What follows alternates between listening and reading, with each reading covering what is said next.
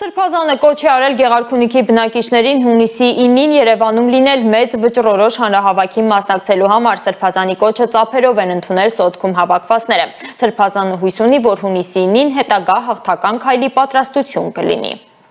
Մեզ համար միանշանակը,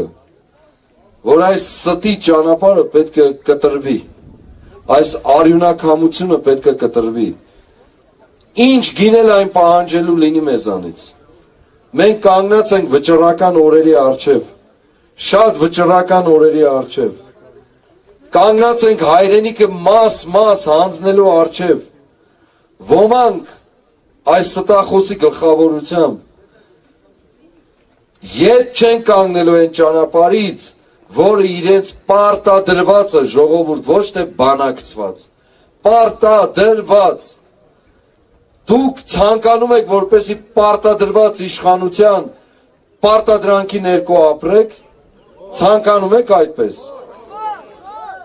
Որևէ մեկը ուզում է իր կյանքը անարգված շարունակել ապրել, անպատված ապրել։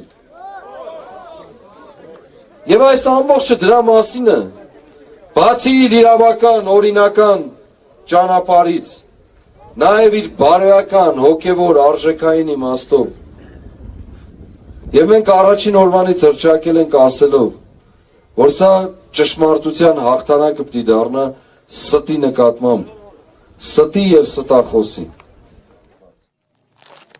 Այն փառքն ու պատիվը, որ իրանցն է,